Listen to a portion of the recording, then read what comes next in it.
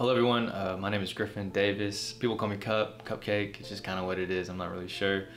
Um, but hope you guys are doing good today. It's pretty nice over here up in Atlanta. Uh, Braves are playing down the street, so that's always a good thing.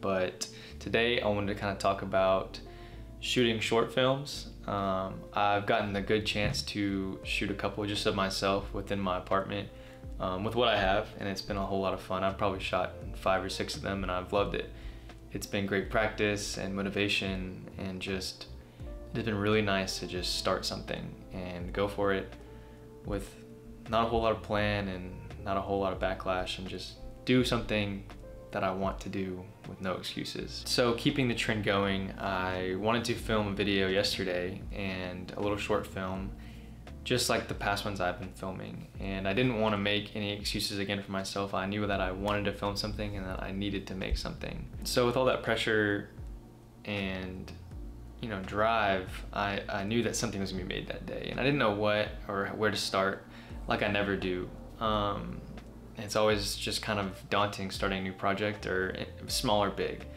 Um, but I knew I wanted to film something and so I gave myself some parameters. Uh, I told myself that I wanted to take 30 minutes out of the day and then I wanted to create the story and film the whole story within that 30 minutes. This one now to make things a little easier, uh, instead of trying to think of some elaborate story, I wanted to think of the things that I actually had to do slash wanted to do within the day. Um, and one of those things that I jumped to really quickly was I wanted to clean my shoes. There were some Nike Blazers, uh, the jumbo swoosh ones if anyone cares. I think they're pretty sick but I knew I wanted to clean those. They had mud all over them and just, I knew I wanted to clean those. So I thought to myself, why not just film that whole interaction and that would be the story, just me cleaning some shoes. Um, obviously very simple and I thought very doable within the 30 minute time frame I gave myself. Now the idea of cleaning a pair of shoes made it, in my eyes, really simple to choose a place to film. Um, the bathroom, the, the bathroom sink is where I've always cleaned my shoes at. Might be gross to some people, it's just what I've always done um, and specifically the right sink. Um, this is my sink out of the two in the bathroom, which is I share a bathroom, and so that even helped the whole case of where I want to shoot, what was the framing gonna be like, it, it helped a whole lot. I also knew that the bathroom lighting in my bathroom was very bright um, and very full, and I knew that I wanted to sort of make it a little more harsh and control the light a little bit more, so I turned off all the lights, ended up using my Amaran uh, two foot RGB tube. The thing's been amazing. I've used it almost in all my little shorts I've been making and it's a great tool. And it just helped me give some more control that wasn't too harsh. This will help me frame my first shot tremendously more easy. um, I sort of had to cover up the light with my body in the first third, as you can see, which almost made it as a nice OTS and I definitely wanted the shoe to be the main focus so that was kind of nice and centered up. And it just made a nice composition start um, and I think that that really helped just start the whole process and filming um, yeah. And for the second shot I wanted to move the camera and get a different view although I know sometimes this isn't always the right idea um, and you really should move the camera unless it's adding to the story but in this case I thought it would help transition and just add a little bit more of a sequence um, to what I had going so far and what I just started. So moving the camera about parallel with the granite countertop and the sink and everything, you still have me in the first left frame and or the first third of the frame and then the shoes in the middle center frame. And so the transition was really easy visually, although I had a big problem. Our light that we put up is, or the light that I put up is still right where I need to be shooting at and so I needed to figure out where to move that light and still get some of the harshness that I was getting. And I ended up finding a good place on my roommate's sink side on the light fixture up top. I just hung it up there and it still gave me a nice direction of the light and as well as the same just full brightness that I needed to sort of match it in post and that was perfect. It worked out great. I think the lighting came across just as perfect and just as well. Honestly liked it better than my initial lighting that was a little more harsh. Now initially, the first shot that we shot was gonna be my introduction and I wanted to almost kind of zoom in and post as a introduction as a starting shot for the sequence, although I like the idea of ending just like you started. Um, I think movies movies do that, it's it's really cool, and so I always like to kind of keep that idea going. Um, and so I ended up kind of just moving the camera a little bit so that we open still almost parallel 90 degrees of where we were, but you get a little bit more of the mirror. And so you get a little bit more of me, the character, maybe maybe a tad bit of motion, not really.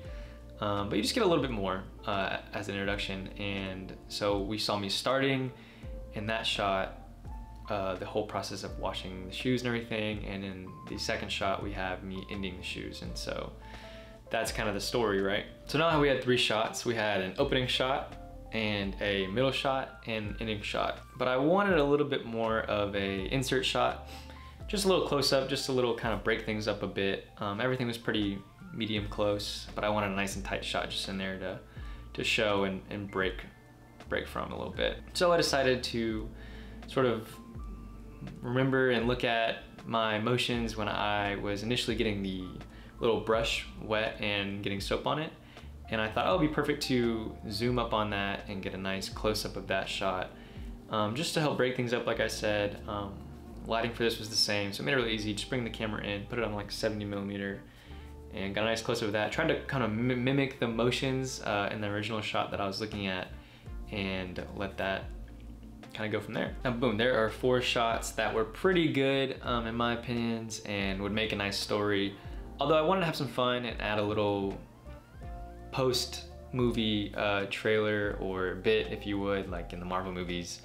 And I thought it'd be fun if I just hopped on the counter and was checking out the new clean shoes that I just, you know, washed off and stuff like that. Um, I never ever had a mirror growing up, and so, like a big mirror, so I always just stood on the counter to check my shoes out. Um, I don't know if anyone's ever done that, but I thought it was funny and, and just a little fun to throw in there. The goal is to be a little more, bit more wide and kind of stay on that left third with my body, maybe middle a little bit, just to help focus and not have any jarring cuts. But it was me just hopping up on the counter, camera's a little bit skewed to the right, just so it's not in the mirror. Um, but yeah, I thought it was really fun, and that was every, that was everything. That was all the five shots I did. Um, this probably took me about 20, 25 minutes maybe, just to kind of block things out and think about things. But it was really fun, and I think it's came out great. So yeah, here is the final results. I hope you guys like it. Um, and yeah.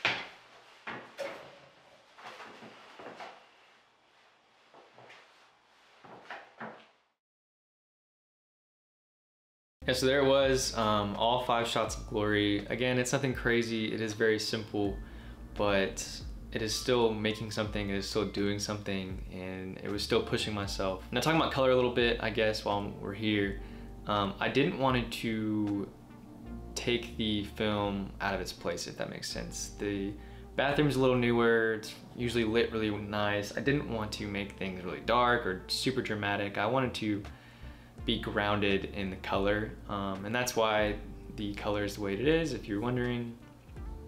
And again, the edit is very simple. It's just a couple cuts here and there. And that's about it. That is the whole thing.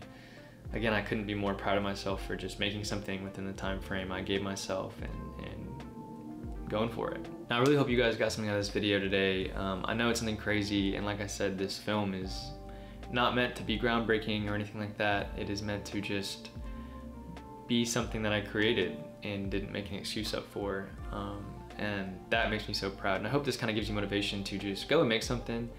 It doesn't have to be super emotional or jarring or memorable, rem, remembering, rememberable. Y'all know what I'm trying to say. Like it, just make something, have fun, push yourself, don't make up excuses for yourself.